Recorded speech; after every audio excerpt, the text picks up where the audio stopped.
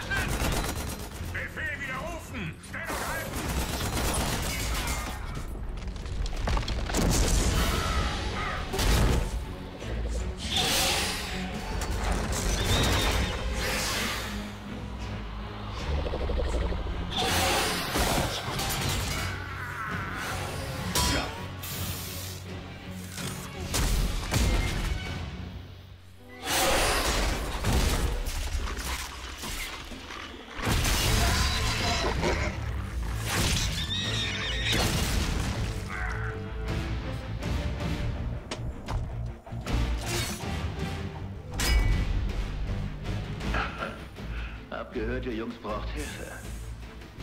Wir sind so schnell gekommen, wie wir konnten. Nicht der beste Moment, auf der faulen Haut rumzuliegen, General.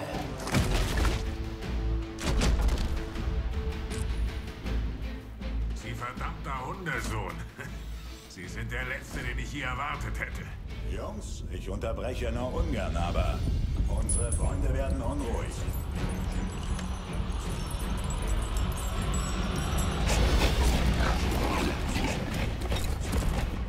Danke für die Rettung. Aber ich hoffe, Sie kommen nicht allein. General, Sie wissen doch, ich habe immer eine Asewärme. Sie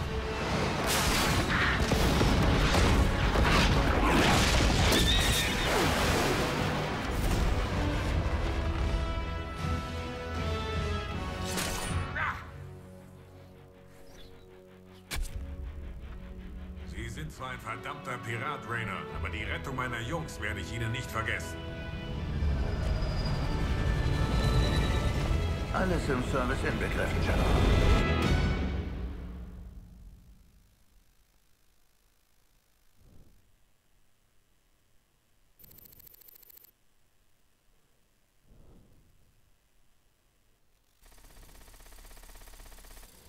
So, da sind wir auf Char.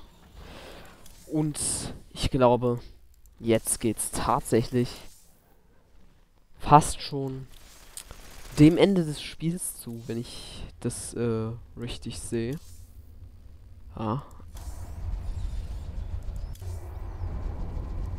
Was können wir denn noch machen?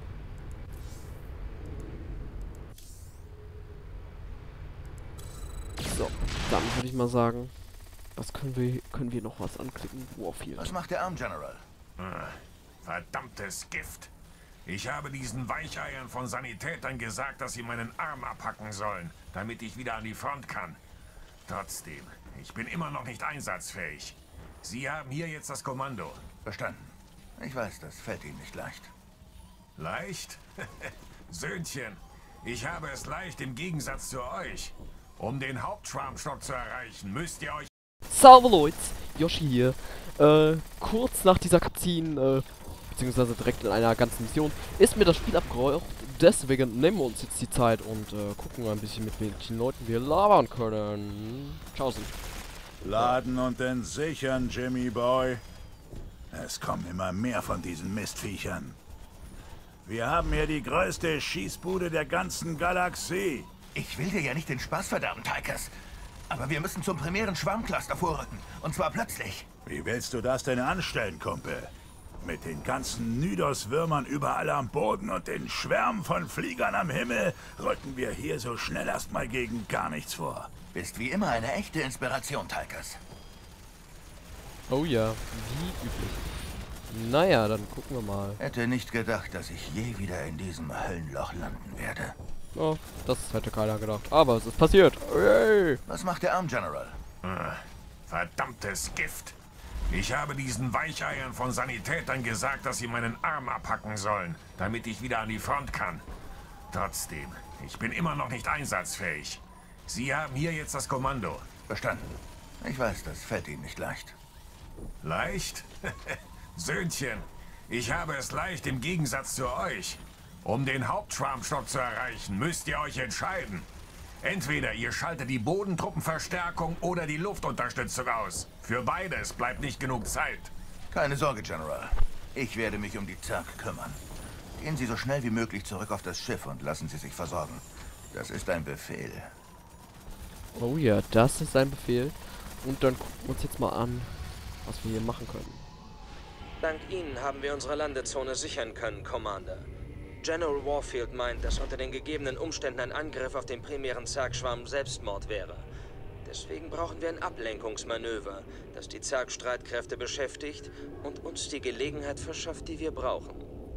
Okay, dann äh, legen wir los. Weißt du, ich habe nachgedacht. Das macht mir mehr Angst als die Zerg. Wir müssen diese Nydus-Würmer ausschalten, bevor wir den Hauptschwarmstock angreifen können. Wenn die Zerg wann immer sie wollen aus dem Boden schießen können, ist das unserer Gesundheit und unserem Wohlbefinden nicht gerade förderlich. Wir könnten Sprengladungen anbringen. An den richtigen Stellen gezündet, könnten sie das ganze Nydus-System mit Lava überfluten. Was meinen Sie, General? Gefährlich. Könnte aber funktionieren. Das größere Problem sind aber immer noch ihre Flugeinheiten. Selbst wenn wir mit unseren Truppen vorstoßen könnten, wären sie ständigen Luftangriffen ausgesetzt. Irgendwelche Vorschläge? Die Aufklärung zeigt, dass 80% der Zergflieger auf einer verseuchten Plattform in niedriger Umlaufbahn nisten. Wenn wir die vernichten, haben wir die Lufthoheit. Verflucht, wenn die Plattform so wichtig ist, warum jagen wir sie nicht einfach hoch? Die Nester sind tief in der riesigen Plattform eingegraben. Detonationen an der Oberfläche reichen also nicht. Wir müssen mit einem Einsatztrupp landen und den Job von Hand erledigen. Ihre Entscheidung, Rainer. So. An dieser Stelle standen wir schon, äh, bevor ich in Amerika war, denn da bin ich jetzt äh, schon gewesen, ja. Und jetzt entscheiden wir uns zwischen Anti-Mutilisken und Nyduswürmern. Und ich denke, wir äh, haben dann zwei Einheiten weniger, also Broodlord und Mutaliskans, äh, ja, ne, versus Nyduswürmer, die eh total easy sind. Dann greifen wir doch lieber die Plattform an. Sorry, Tychus. What's up, Bro? Okay, wir können uns um die Nydus-Würmer kümmern, sobald sie an die Oberfläche kommen. Aber ohne Luftunterstützung haben wir keine Chance. Die Plattform muss weg. Wir sind extra hier runtergekommen, nur um jetzt wieder ins All zu fliegen? Yep, Ich wünschte, ich könnte mit Ihnen gehen. Machen Sie in die Hölle heiß, Rainer. werde ich machen. Die Zergflieger nutzen diese alte Orbitalplattform als Operationsbasis. Eigentlich besteht sie aus verschiedenen kleineren Plattformen, die im geostationären Orbit zusammengesetzt wurden. Die Nester sind zu tief im Boden. Ein Bombardement könnte nicht wirklich etwas ausrichten. Die Gegend jedoch mit Bodentruppen zu säubern, könnte verlustreich sein. Adjutant, was hält das Ding im Orbit? Wird es mit Energie versorgt? Positiv. Thermale Anzeigen weisen auf eine extreme Hitze hin, die von den Plattformen ausgestrahlt wird. Die Kerntemperatur wird durch eine Reihe Kühltürme stabil gehalten. Sie sind trotz der Zergverseuchung noch funktionstüchtig. Perfekt. Das ist doch genau das, was wir gesucht haben, General. Wir landen also auf der Plattform und zerstören die Kühltürme in jeder Sektion. Das wird zu einer Kernschmelze der Reaktoren führen und die Zerg sind erledigt. Ausgezeichneter Plan. Sie haben Ihre Berufung verfehlt, Rainer. Sie hätten einen hervorragenden Offizier abgegeben. Ich denke, ich bin genau da, wo ich hingehöre, General. Jetzt lasst uns loslegen und diese Plattform in die Luft jagen. Kerrigan wird uns keine zweite Chance lassen. Oh yeah. Puh. Mein Aufnahmeprogramm hat die Cutscene überstanden. Yay! Da ist es jetzt, äh, nämlich jetzt mal abgestürzt. Und ja, ich war jetzt inzwischen in Amerika. Es war eine richtig geile Zeit, Leute. Ähm, wenn ihr die Möglichkeit habt, macht es. Und äh, ja, auch wenn es nur eine kurze Zeit ist, was weiß ich, zwei oder drei Wochen, macht es. Äh, ja, und ich fahre jetzt fort.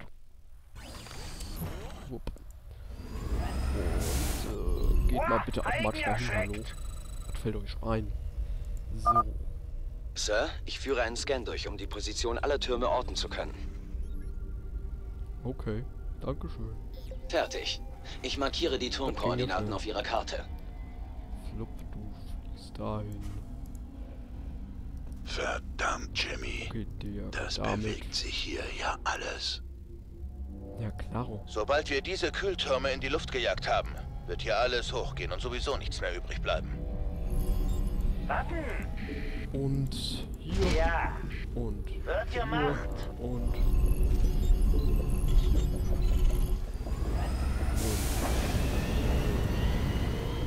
Nicht Ja. genügend Mineralien. Oder nicht. Hier. Hier. Nicht genügend Mineralien. Ja, ich hab's ja langsam begriffen, ja. Abmarsch bereit. Ich glaube, da kommt dann gleich was. Ne? Das Was liegt an? Hier, ne? Weil. BBF einsatzbereit. Dass wir uns bald sicher. mal raus haben. Wir warten, bis wir 100 Supply haben. Äh, weil das ist ja wichtig. Ne? Dass wir 100 Supply haben, damit wir hier einen Bunker einsetzen können. Darf sonst noch was sein? Yep. Maschinen laufen. Ja. Ich würde sagen, wir könnten Sie mal wünschen, den ersten Anflug wagen. wird gemacht. So, dann gucken wir mal. Bestätigt.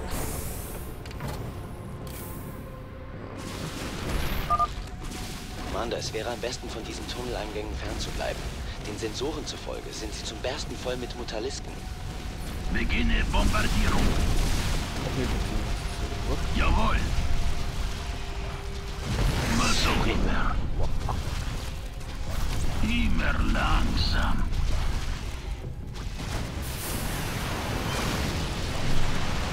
Voilà. Puh. Dann äh, setzen wir mal Auf dem Weg. einen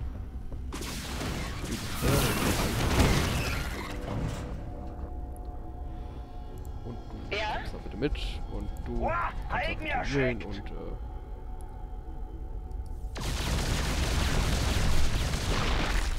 gehst dann bitte auf dauerhaft reparieren. Dankeschön. Zack. Zack. Dann bauen wir hier noch ein paar Wikinger. Ein paar Wikinger. Die sind immer schön. Wikinger sind nett. Die mag jeder. Ja. So. Maschinen laufen. Dann. Was nicht passt, wird passend gemacht. Ich glaube, du hast es. So, dann bauen wir hier noch einen Raketenturm hin. Aber sicher. Und dann. Ja. Und dann Ist ja nicht geht er mein dahin. Und äh, ne? Auf jeden Fall.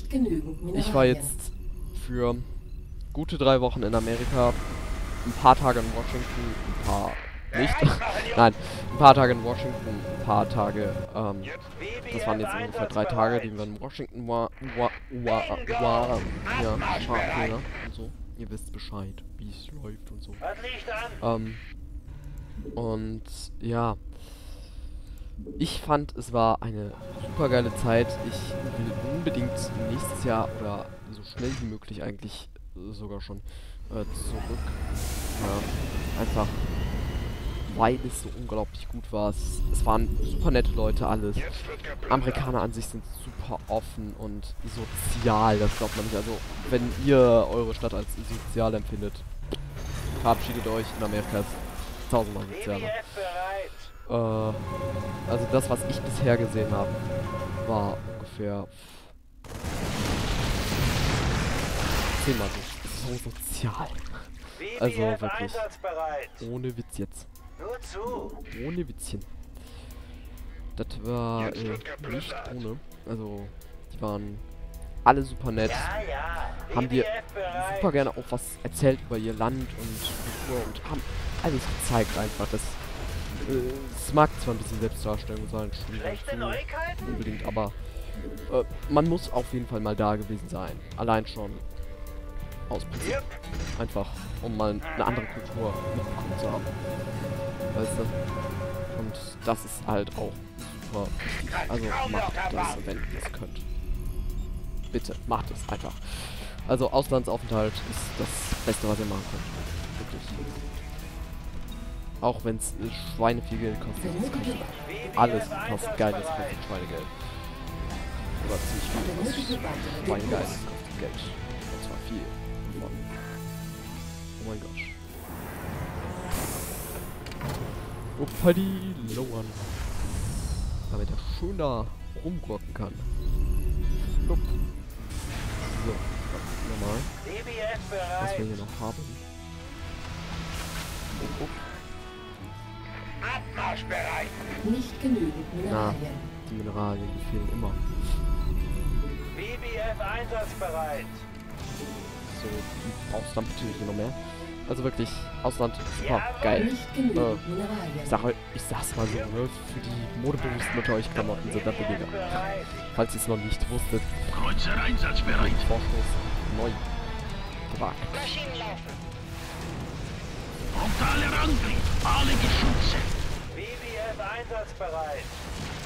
Pulverisiert sie. Hier komm ich.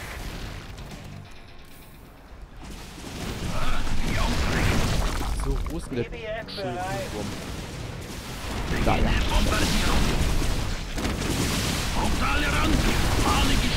Upp, Der Reaktor überhitzt. Weg hier! Plattformexplosion. Oh mein Gott. Raus da, Sir. Alle Mann von Bord. Geschwader unterwegs. Sollte ich vielleicht besser weggehen? Scheiße, Bad. Jetzt geht's rund. Haben wir denn noch ein bisschen was mehr? Ähm, und ja, also wirklich. Es ist prägend. Eindeutig. Prägender als so manch andere Sache. Deswegen so. Die Plattform wird jeden Moment explodieren. Uh, hey! Wir haben was geschafft. Wir haben was geschafft, Leute. Sie geht hoch. Bringt euch in Sicherheit. Oh, hier. Und ich war bei einer richtig coolen Familie. Es hat super viel Spaß gemacht, einfach mit denen rumzufahren, äh, Leute kennenzulernen. Einfach deren Kultur auch super. Alles, alles tutti. Bei mir war es super. So. Wenn es bei euch nicht super war, ich kann leider nichts dafür. Tut mir leid. Ich orte Anzeichen schwerer Luftverteidigung auf dieser Plattform. Ein Vorstoß am Boden wäre empfehlenswert. Okay, Vorstoß am Hier komm ich. Dann machen wir das mal, aber wir brauchen jetzt erstmal einen Reparieren Gate. Ja, bitte. Weil Ja, ja. die äh, sind ja auch wichtig. Ja. Losgeladen und entsichert. Auf dieser Plattform befindet sich starke Bodenabwehr, Sir. Diese Plattform stark Bodenabwehr. Die fliegen wir da mit Luft hin und da. Fliegen kaum noch so hin. So. Was haben wir denn noch? Liegt Wir haben noch einen BBF, der hier eine Kaserne nicht kann. um dann wieder sammeln zu gehen. Ne? So, ich überlege, was wir dann als erstes machen. Ich Jetzt glaube, wir machen dann als erstes ähm, Sie wünschen. Laut und die deutlich. ganze Luftabwehr. Zack. Und jetzt hier den, Und nun? den und dann Was nicht passt, Ja, wird passend gemacht. hier wieder zurück. Dankeschön. Hier komm ich. Zack. Maschinen laufen. Sehr viel. So, dann die mal. Sehr schön.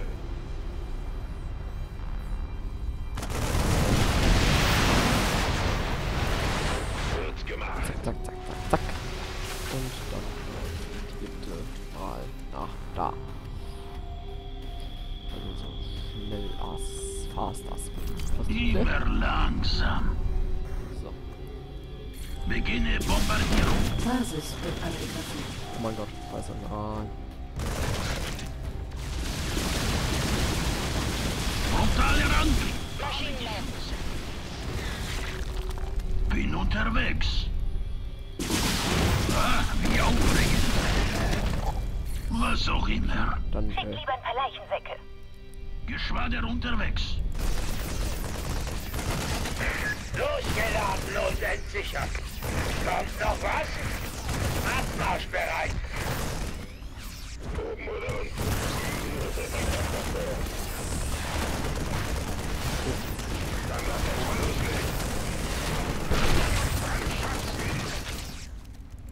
Kann's kaum noch erwarten. so.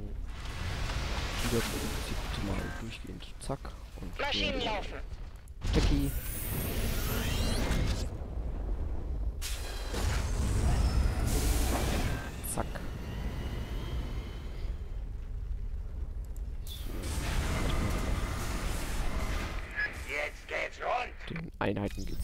Ganz, ganz ermittelt. tutti. Beginne Bombardierung. Erweiterung fertiggestellt. Wie aufregend. Ja, Kommand. Bin unterwegs. Ups, ziehen besser ab. Aber schnell. Ja, ich mache ja schon. Bop, bop, bop. Auf dem Weg. Auf dem Back. So, das ist gut, dass du auf dem bist. Oh. Maschinen laufen. Jetzt geht's rund.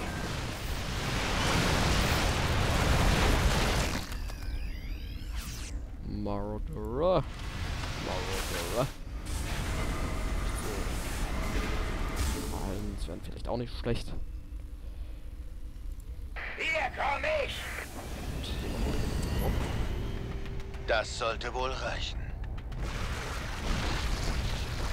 Hoffentlich reicht das. Jetzt seht euch das Ding da an. Ach du heilige Scheiße. Warnung. Unidentifizierter Zergorganismus nähert sich. Größter bisher gemessener Organismus. Verdammt, das hat uns gerade noch gefehlt. Wir schießen das Ding am besten so schnell wie möglich ab, sonst kriegen wir ernsthafte Schwierigkeiten. Was zum Geier bist du?